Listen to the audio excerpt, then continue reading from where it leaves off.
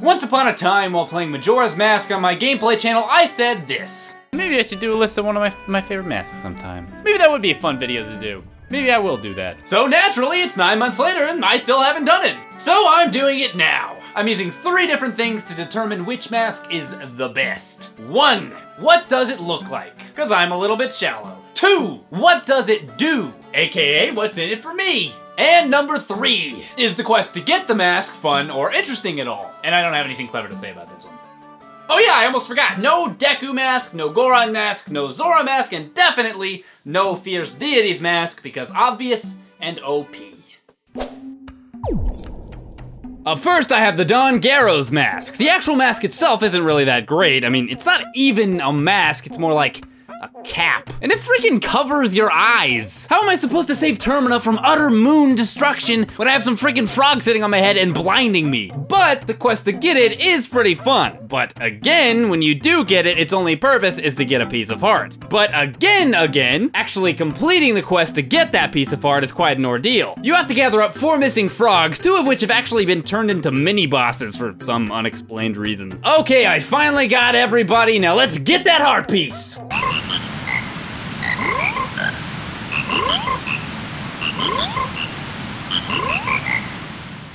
Uh, I guess I already did it. Oops. The Bremen mask doesn't do anything too special. It's not too hard to get, and the quest to acquire it, if you can even call it a quest, isn't really interesting. Basically, to get it, all you have to do is listen to the crazy windmill guy from Ocarina of Time ramble on for a while about how terrible of a person he is, until eventually he hands it over. But, you have to admit, it does play some pretty catchy music. I can't think of that much to say about the Bremen mask, so this is a cop-out segment where I sing some stuff that kinda rhymes. I have done it many times. And I dropped something. The Mask of Truth! First off, getting the Mask of Truth is really fun. It actually has its own little mini dungeon located in Woodfall. But that's not very interesting to talk about. So let's talk about what you can actually do with it. Just like in Ocarina of Time, it allows you to talk to Gossip Stones, but in Majora's Mask, it also allows you to talk to animals, like the dogs in the dog race. You can basically cheat by doing this, and if I love anything as much as I love Zelda, it's cheating. You're supposed to look for the high energy dogs, you know, the ones with confidence. But I sympathize more with the lazy dogs, like this guy. You may be the underdog, but I believe in you. Now get out there and Whoa. Yep, this is my guy. I think he's got magic powers. You can do it, lazy dog! You may not be motivated and you may not be talented, but you're relatable to the common people, and that's what really matters! Oh, come on! Well, at least I didn't pick that guy.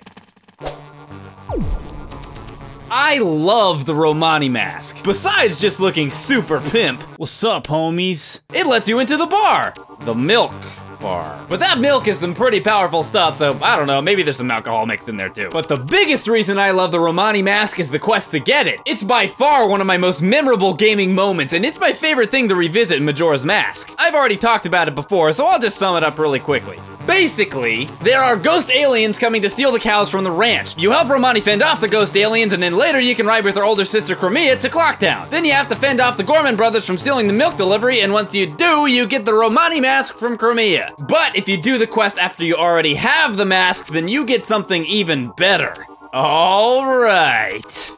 Booby hug. Love. Love between a beautiful young woman and a man who's been turned into a child, so he wears a Pikachu mask and runs around. And you can use this little racist dog in Clocktown to knock him over. Ha ha, you've been changed from your original form and are now ashamed to face your lover. How very unfortunate for you. The couple's mask is by far the longest side quest in the game. You actually have to get a handful of other masks in the process of getting it. And that alone is a large part of the reason I'm including it this high in the list. It doesn't really do much, but it's a nice symbol of all the effort and time you put into getting it. It also is a symbol of love. Undying love. That is until the moon crashes and ends their love in the form of dying. The couple's mask. It's filled with their love. Gross. There's an event that happens on midnight of the first day in North Clocktown. An old lady is in trouble and you have to help her. Because saving old ladies and stopping thieves isn't in this guy's job description. Nope, keeping the kids out when the moon is crashing, that's more important. And what do you get for saving the old lady? Just what every kid needs, a bomb. More specifically, the blast mask. She even gives you some advice on how you can use it. Your very own fireworks show. Old people are funny. The blast mask is basically just a bomb but on your face. The best place for a bomb to be. Now instead of your sword, it just says explode. You know what? I think there should be an explode button in every game. And if you use your shield, somehow it saves you from being damaged. Even though the shield is, and the mask is inside the you know what, it's a game, let's just forget it. Now I know what you must be thinking. Peanut Butter Gamer, how exactly does the blast mask work? What causes it to explode without Link touching it or anything? Good question. According to a gossip stone that I couldn't find anywhere except on the internet, the answer is, it's full of gunpowder. And that explains everything. The Giant's mask turns you, naturally, into a giant, and that's pretty cool. What's not cool is that you can only use it during the Twin Mold boss fight, leaving me very little to say about it. But you can, however, glitch the game into letting you use the mask outside the Twin Mold boss fight. Either run through a large portion of the Couple's Mask questline, or if you're fond of cheating like I am, you can just glitch through the door of Sakon's hideout on the final night. Put on any mask that isn't a transformation mask and step on the switch to start the conveyor belt. Then, once you switch to Kafei, pause the game and put the Giant's mask in the same slot as the mask you currently have equipped. Then when you switch back to Link, he'll start putting on the Giant's mask. The only problem is that it causes a problem. Aw, oh, yeah, I'm a giant. Look how awesome I'm not. You're stuck. Enjoy.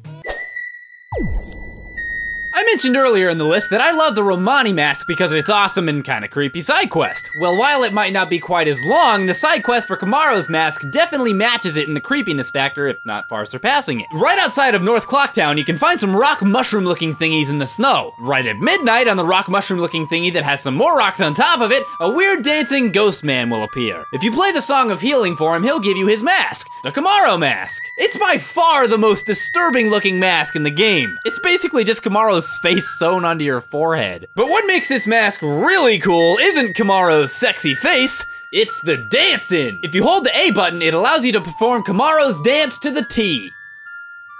Also, it helps you pick up chicks. Up next at what should probably be number one but isn't, the Bunny Hood. The Bunny Hood is arguably the most useful mask in the game. It makes you run faster.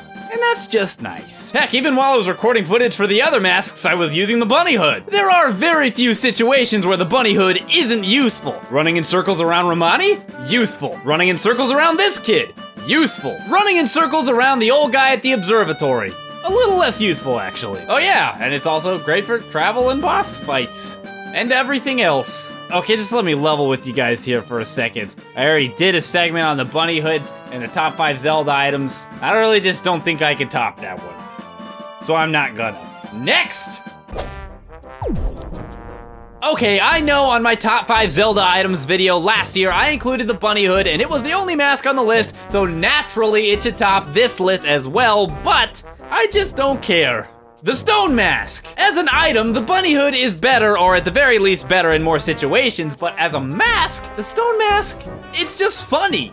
I like it. It's also really useful in a lot of spots throughout the game because it makes you invisible to enemies. I'll demonstrate here with Got. Or is it Goat? You guys seem to think it's Goat, but calling a goat Goat just seems a little silly to me, and I hate silly. So Got it is. You can't see me, Got. Just give it up already. Uh, uh... okay, some enemies can still see you, like bosses, mini-bosses, and even weird exceptions like Deku Babas for some reason. But it does work on most enemies, like this annoying bird guy. Whoa. Whoa.